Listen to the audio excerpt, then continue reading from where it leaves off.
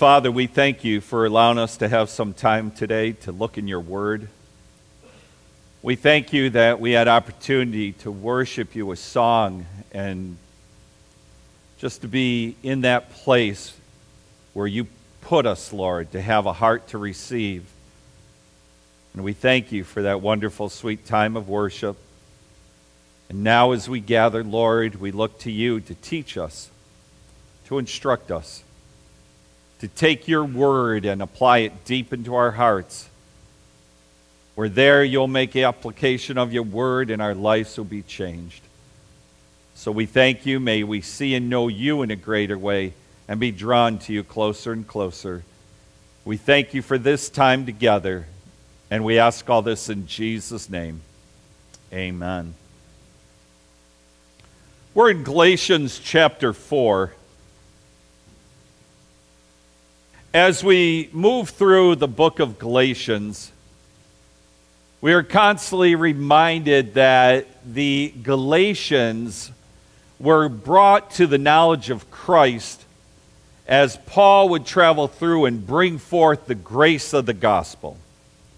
The understanding that Jesus Christ paid the price in full for our sin when he died on the cross at Calvary. That man cannot add to what God has done. God has done that work. And they had that foundation in that.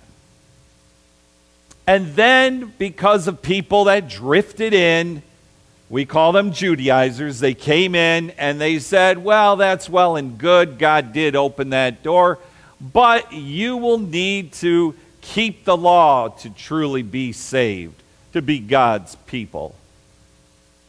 And Paul comes back and says, how quickly your minds have been corrupted and how quickly you've grabbed a hold of another gospel, which isn't even a gospel. It's not truth, and it's definitely not good news. And so he builds a case and shows them that the law for the Jews was there as a school teacher, or we call it a schoolmaster, a tutor, but deeper than that. It would be one that would come and teach and discipline and correct. And he uses the analogy of how a child, though they are heir to their father's estate, that when they are a child, they need to be taught and trained. But when they come to that age of maturity, then they can walk in the fullness of being that heir, of being that son, or as we would also, in our understanding, daughter. They use the word son only because that in that culture is how the inheritance was passed down primarily. But God had no problem passing down the inheritance to the daughters of well, as you see in Scripture. So I'll interchange those words a lot. But here, as children of God, we now can walk in this place of maturity. And yet, they chose to go back to a place of basically servanthood or, or a lesser state in the house instead of an heir. They, they chose to go backwards, and, and it befuddles Paul, and he's like, I can't understand why. So he lays out these things before us, and we're really at, a, at the meat of it here in chapter 4 because he really emphasizes that God has brought us to this place of maturity, and indeed, you are his sons, you are his daughters, with the full benefits of that relationship. And so, he's trying to tell them, why don't you walk on in this place of maturity instead of falling back into this place of childhood?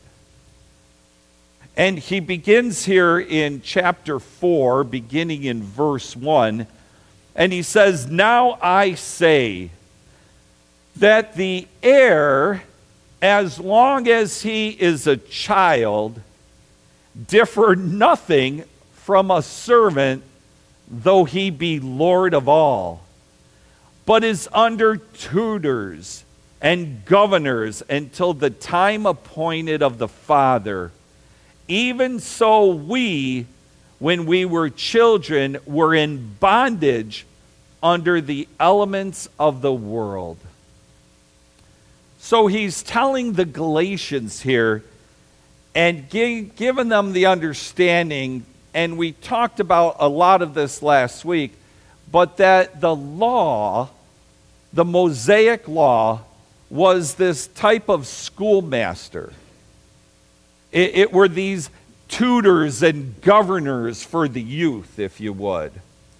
And even though that they needed to walk by faith, and they did, and they lived for an expectation of Messiah to come, they were never totally free to walk as God's sons and daughters, never totally free to be his heirs. They were more like servants. And so he declares this to them and they had to be disciplined by the law. They had to be trained by the law. They had to be governed by the law until that time of maturity would come when the father would say, It's time to now be my son or daughter, or to walk in that role, I should say. It is now time to take that responsibility in the family and with all of its blessings and responsibility it is time for you to mature into that role, or because you are now mature, to be offered that role in the family. This maturity that Paul's speaking of is the maturity that came when Jesus Christ descended from heaven, was born of the Virgin Mary, became man, lived a perfect life that you and I cannot live but died a sinner's death, he who had no sin, but he died in our place and then was raised from the dead. So that moment of a, a uh, maturity has now come for them. This should be a time of celebration. Your, your moment of maturity has come. You, you are now able to be free from that childlike behavior of always being told, don't do this, stop doing that, you can't do this. Would you just sit up straight? You know, when you were a child, you looked forward for that day of maturity. And we're like, I want to be independent. I want to do more things. I, I, I, I want to eat ice cream before my dinner. And now that I'm adult, I can. And now that I'm older, I can't. Not as much. But you look forward to being a mature person. And, and he's like, now this time has come. This moment you've been waiting for is here. And for some reason, they wanted to go back in the childhood behavior of not being counted as heirs to God, but ch- children that are governed and directed by the law, by the as the as the scripture says, the elements of this world. For the Jews, that was the Mosaic law. For others that were non Jews, it was whatever their elements of this world, the things that would guide them, their religions their practices, their, their governments. Natural law, basically, you know, you're governed by these things. You, if, if you climb up on a high peak and jump, you will not fly.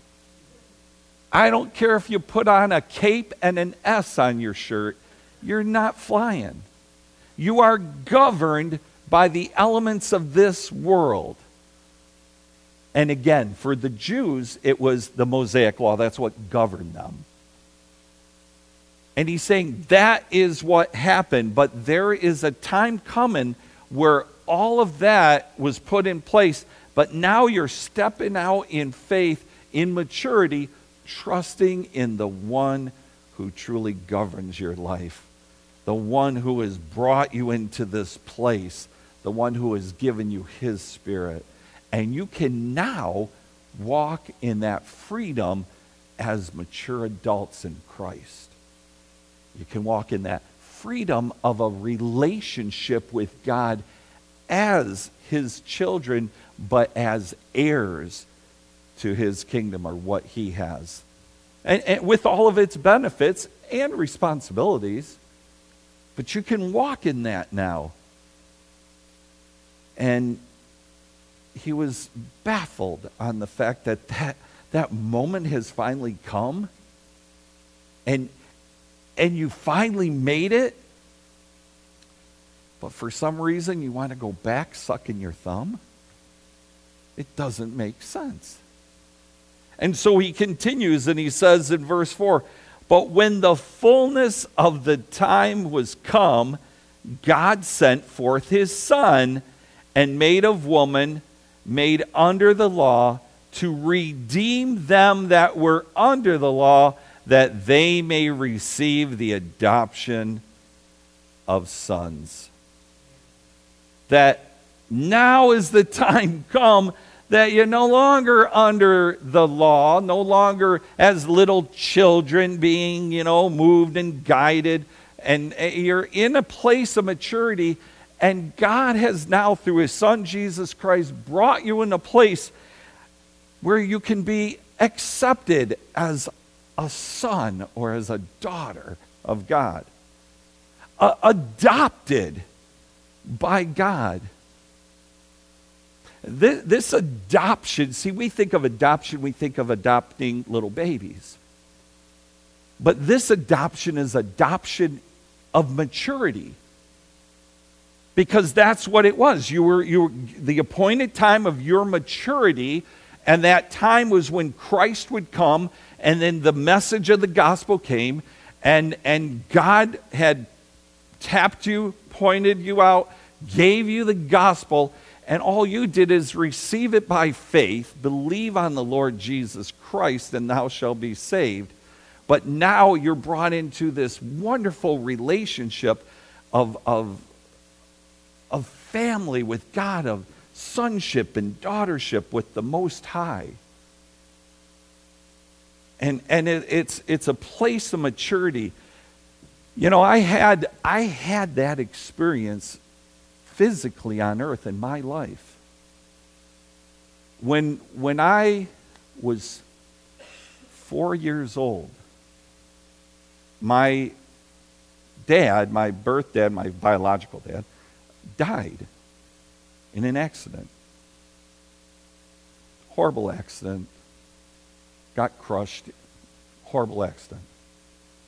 So my mom raised three kids.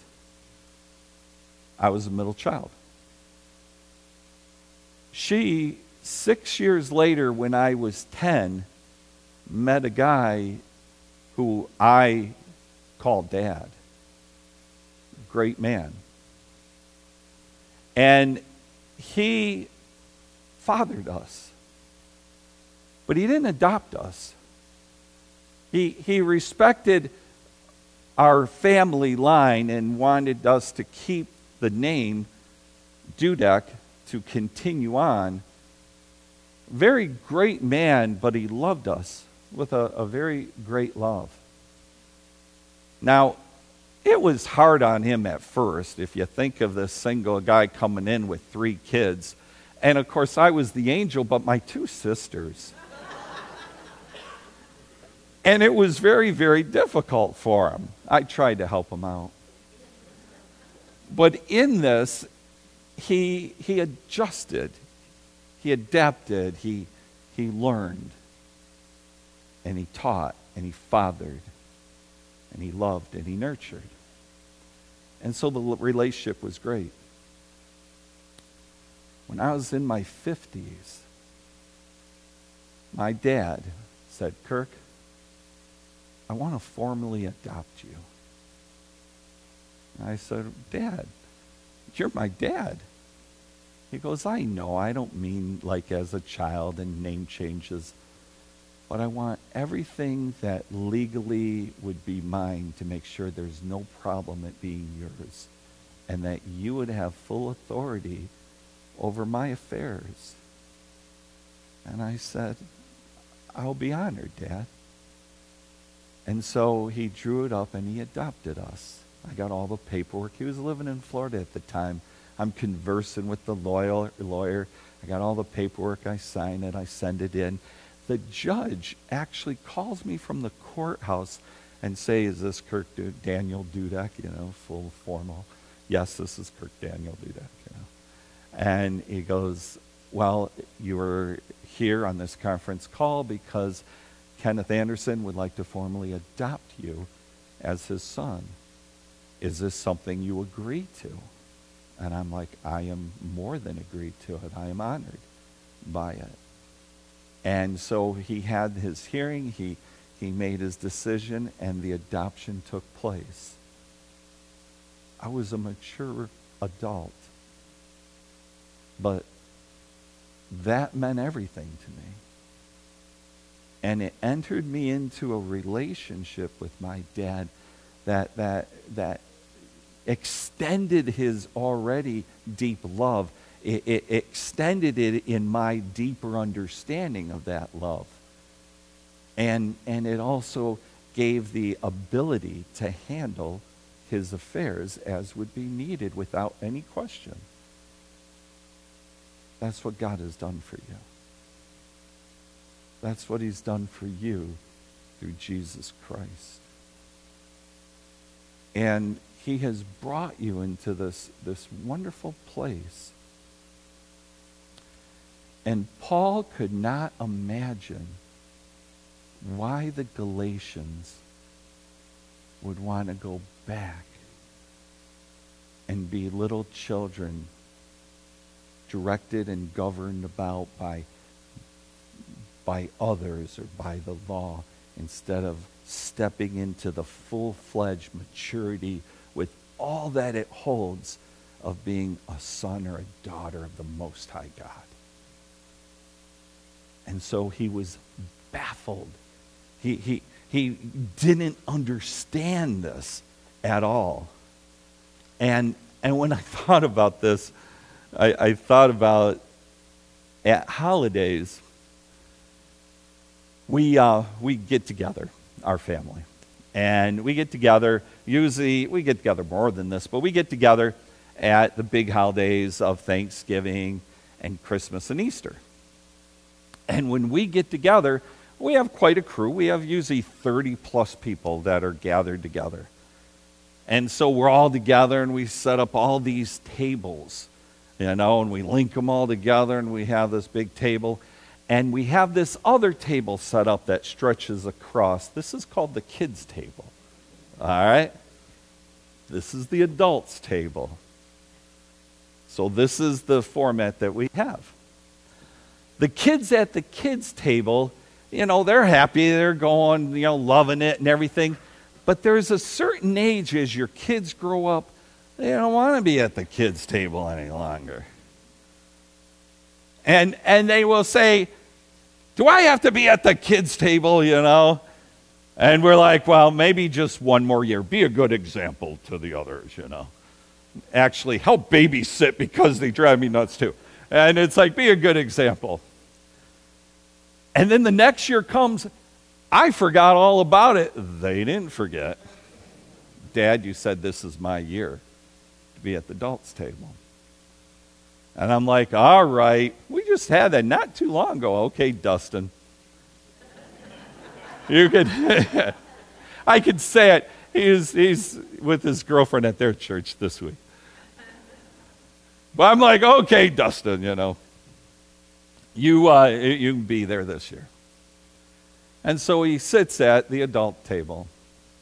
And, and I couldn't imagine, after a short period of time, Dad saying, or Dustin saying, Dad, can I move my seat from the adult table back to the table of chaos and annoyance You know, can I please move my chair back? I never heard that from him. He was glad to get away from that kid table. He was very pleased to sit among the adults. And that's why Paul's like, why are you Galatians wanting to go back to a table of chaos when God's brought you to the communion table? Why, why would you go back? And so he's appealing to them. He's, he's encouraging them that you don't want to go back. God's brought you into this beautiful place. You don't, you don't want to find yourself back as a, as a child in this relationship. You want to finally come forth as an heir of God and a joint heir of Jesus Christ. That's what you want to do. That's what God has for you. And so he, he is a little baffled by their, their desire in going backwards. And look what it says in verse 6. It says, And because you are sons, and we know, and daughters, God has sent forth his Spirit, the Spirit of his Son, into your hearts, crying, Abba, Father. You know, we can ask God for the Holy Spirit. The scripture says, if you ask your Father for bread, he's not going to give you a stone. How much more if you ask your Heavenly Father for the Spirit, will he not give you the Holy Spirit? We also know, according to Ephesians, that when we come to the saving knowledge of Christ and believe on the Lord, that we are sealed with the Holy Spirit of promise. I think this mention of the Spirit is a little, little more special. It's different because it says He has given you the Spirit of His Son. That, that you now have the fullness and the relationship that His Son has with the Heavenly Father because He's given you the Spirit of His Son Wherefore you can cry out, Abba, Father, just like Jesus. It, it, it, it's, he's given us that very nature of Jesus Christ, the Son of God, with the relationship that he has. He's given you that self same spirit, wherefore you too can cry, Abba, Father. it's, a, it's an incredible thing that he's bestowed upon us. And it declares in that understanding this term Abba Father as a, a very personal term. Now, technically, we refer to that term as daddy. In the Jews wouldn't, they would refer to it as dad. And, and the reason only because when they refer to as father in that understanding, there was a high level of respect and fear for father. I mean, father was, you know, that's, that's a high place of reverence and honor. So to step to a place of dad was a huge jump for them. To come to a place of being able to say dad. Because everything was very respectful, you know. But now you can say dad. That was personal. That was tender. Uh, we don't have that big of a jump, so it's fine for our understanding if we move from father to daddy. Because we understand daddy, you know. Daddy is very more tender and, and you know, compassionate or has a, a lot of feeling behind it. Because we could still say, yeah, that's my dad over there. And, and not get the fullness of, of that personal touch. But if I say that's my daddy over there, that, that, that gives it. So here, but yet God coupled this term, you got to understand, He didn't just say you can call Him dad or daddy, it's daddy father. It still keeps God in a high place of honor, but yet with a personal relationship. It, it, it's an incredible term to be able to say, Abba, Father.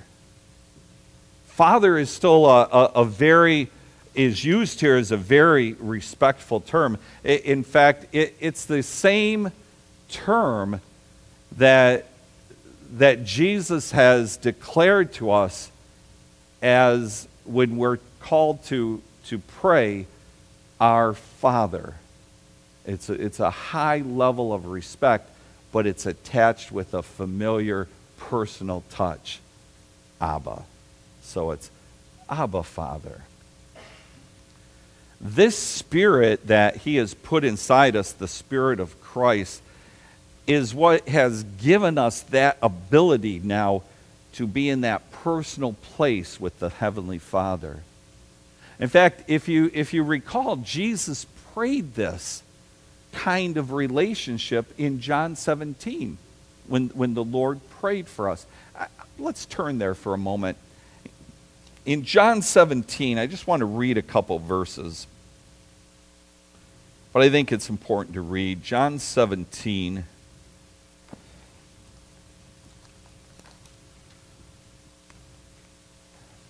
Jesus is praying for his disciples, and you kind of see in, in verse 20, he's not only praying for his disciples, but he's praying for us as well.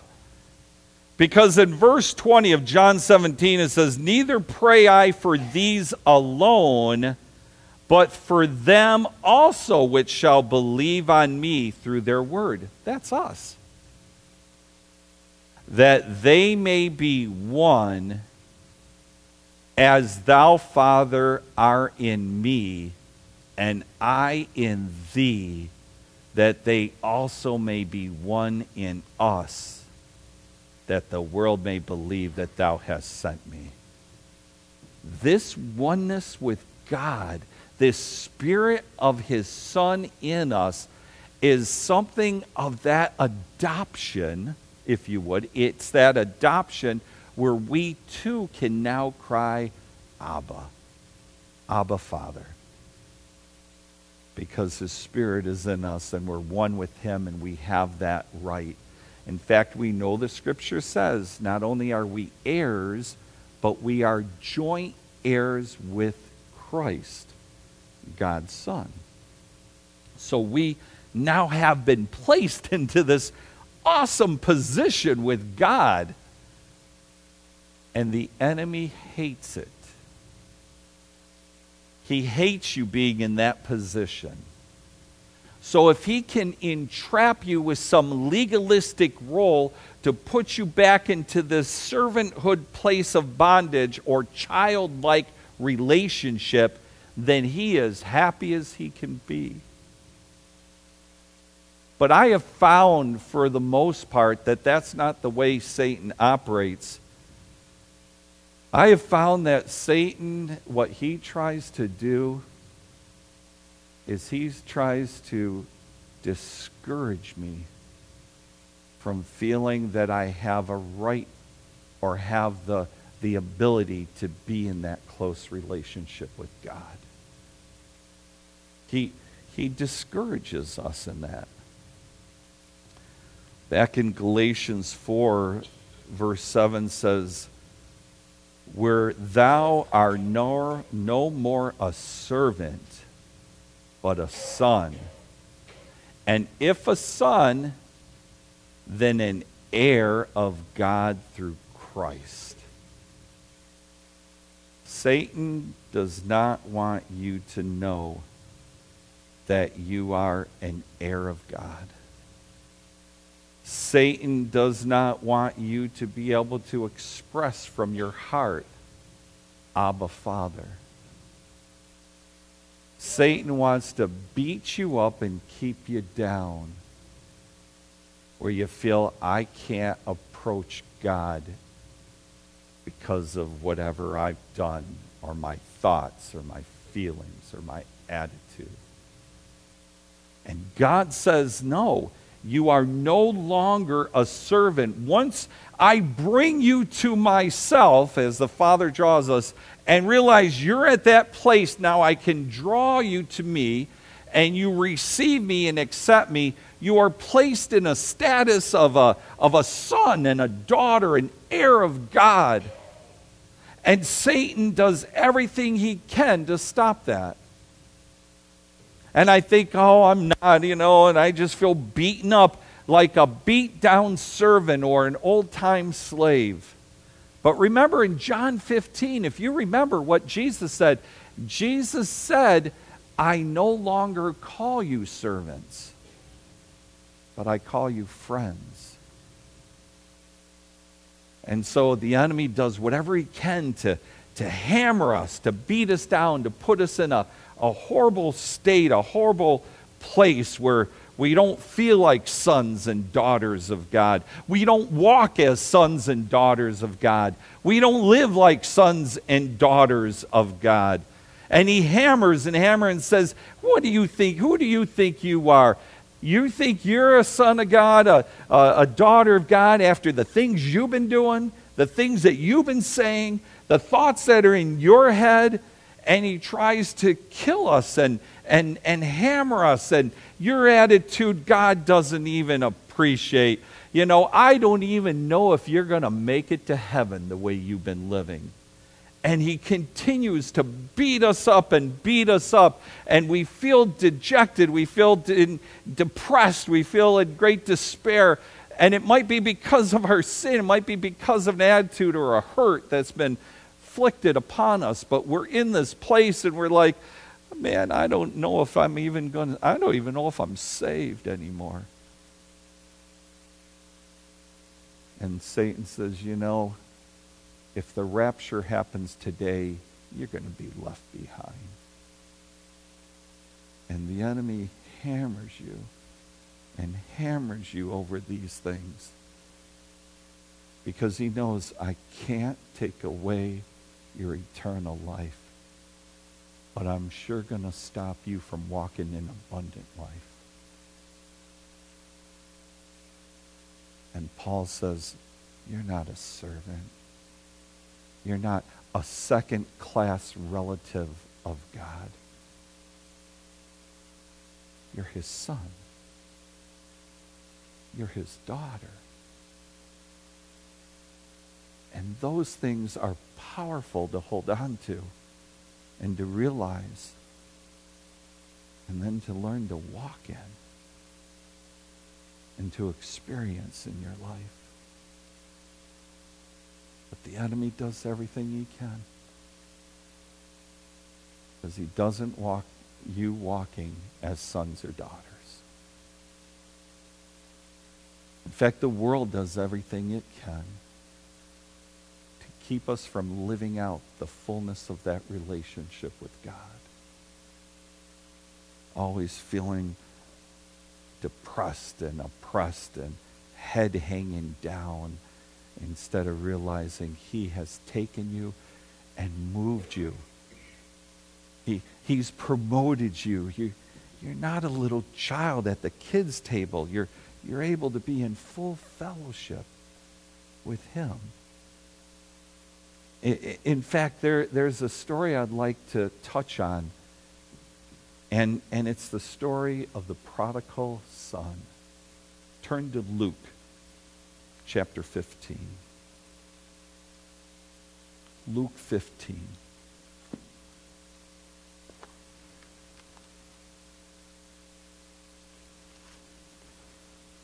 We'll begin in verse 11.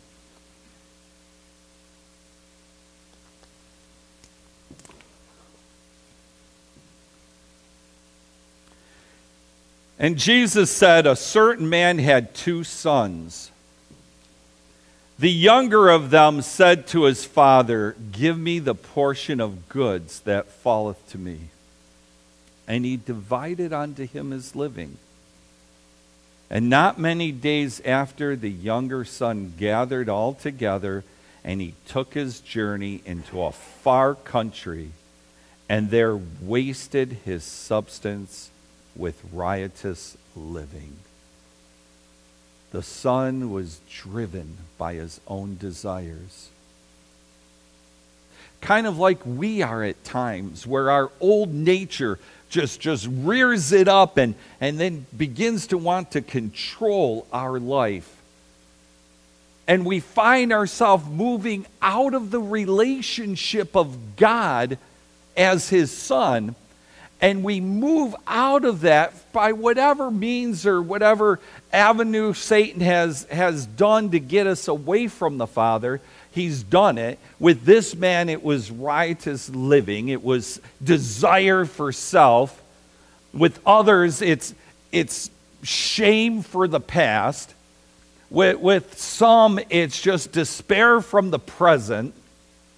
But whatever Satan does, he tries to move us out of this family relationship, this, this beautiful position with God the Father, and he brings us out into the world, and there he does his number and hammers us. And he did it to this prodigal. And he wasted his substance with riotous living. And when he had spent all, there arose a mighty famine in the land and he began to be in want.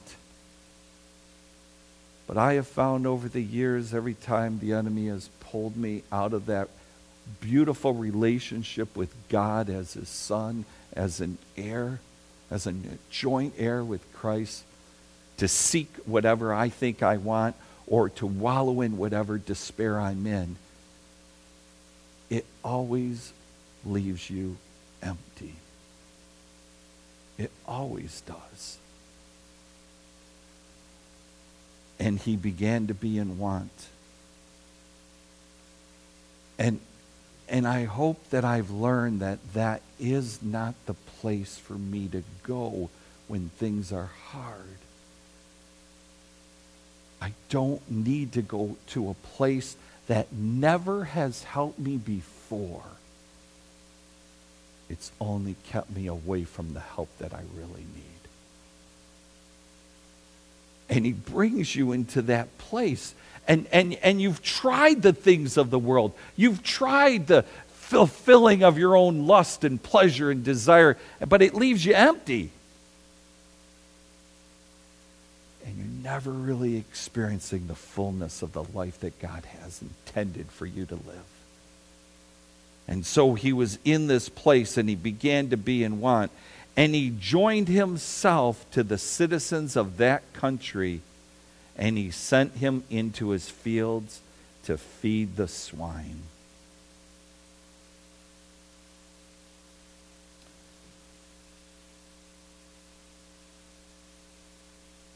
And he would have fain have filled his belly with the husk that the swines did eat, and no man gave unto him.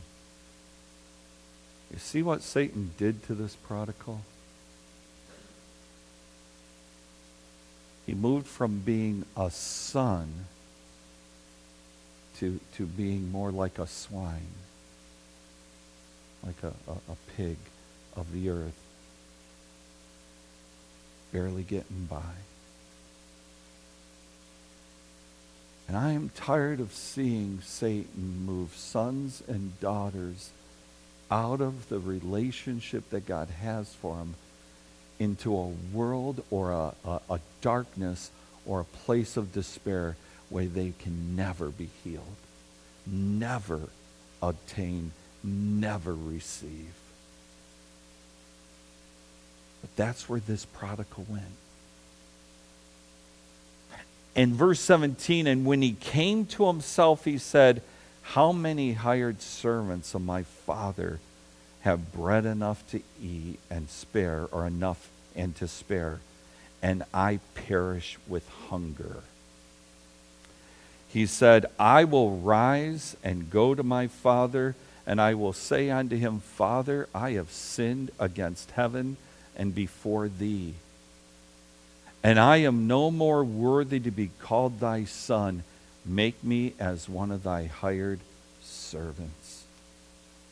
Because of this place, he thought, okay, maybe I can come back to God.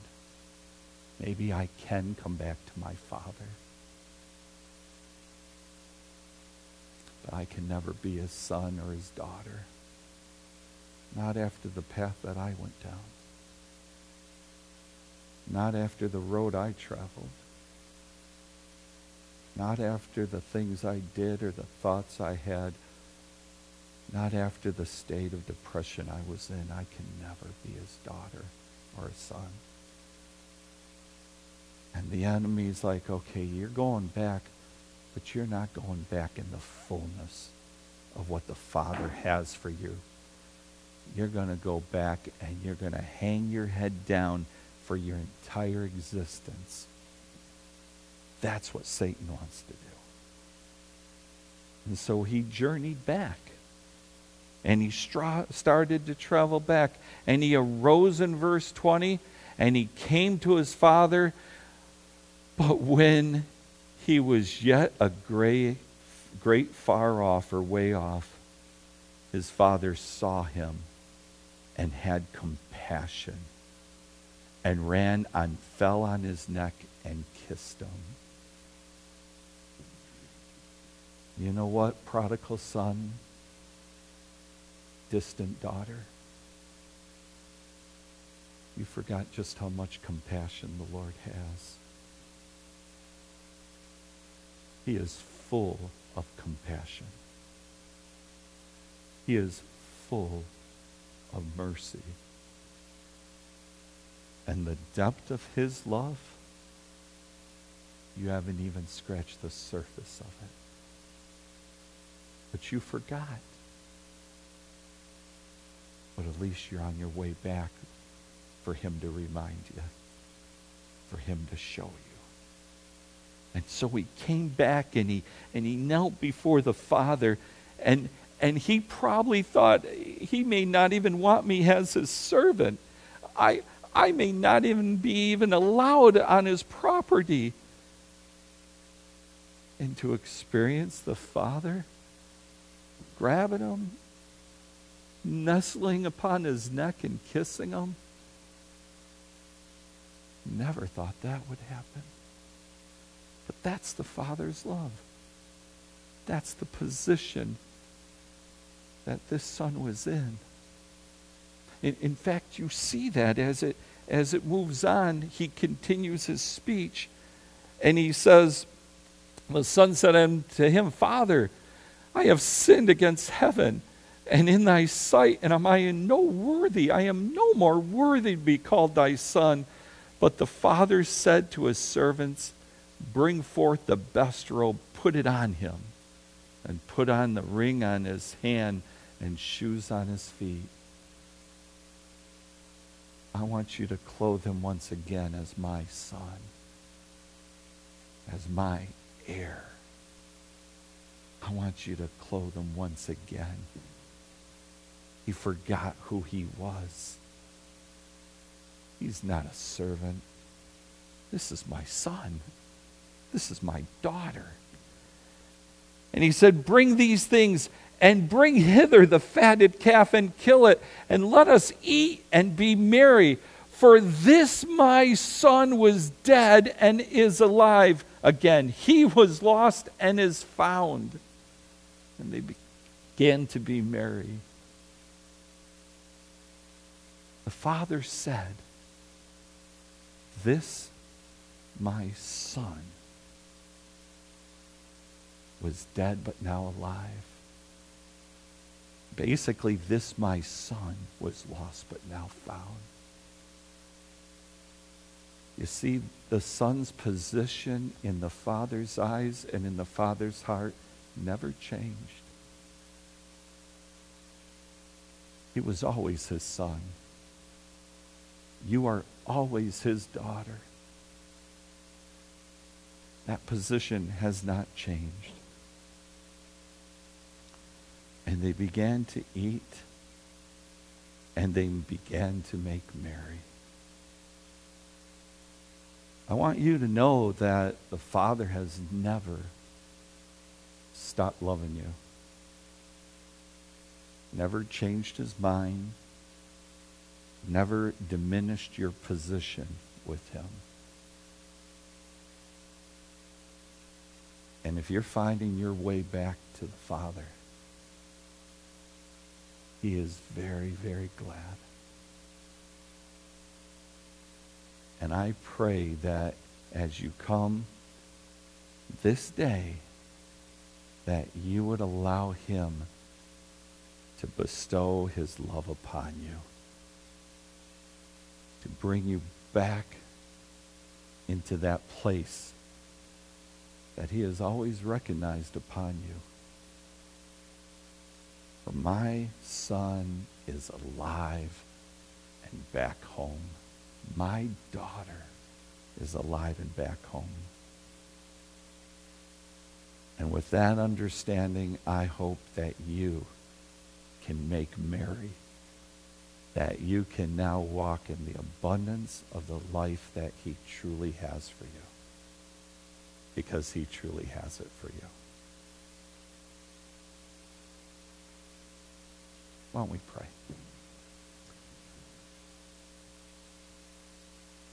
Heavenly Father, I thank you so much that you have such an incredible love and heart of compassion for we, your sons and your daughters, that have lost our way and over time lose our way. But we know the home that we need to find ourselves in. And that's our Father's house. So I thank you, Lord, that when we turn our feet to go back home, you are there embracing, loving, and rejoicing that your son or your daughter is back with you again. May you teach us to walk in the fullness of the relationship that you truly have secured for us through the cross of your Son. We love you. We praise you. We ask that you would forgive us and restore us. And we ask this in Jesus' name. Amen.